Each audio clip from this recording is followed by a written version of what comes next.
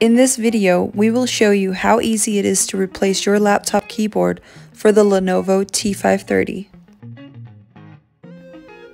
Turn the computer over and loosen the screws securing the keyboard.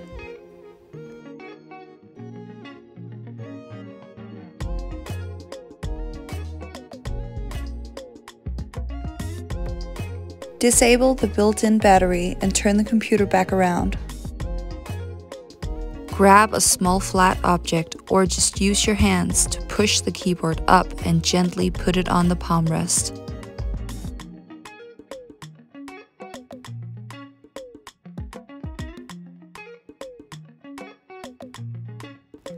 Now remove the keyboard connector.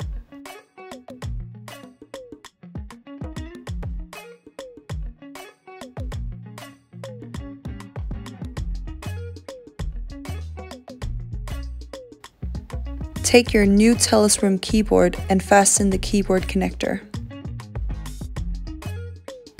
Slide the top in first and push the keyboard down to lock it in place.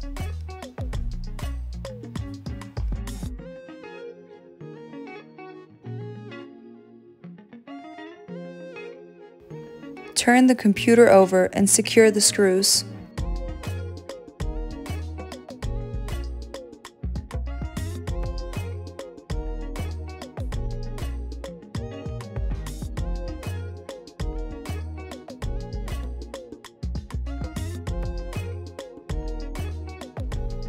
Enable the battery and you're finished.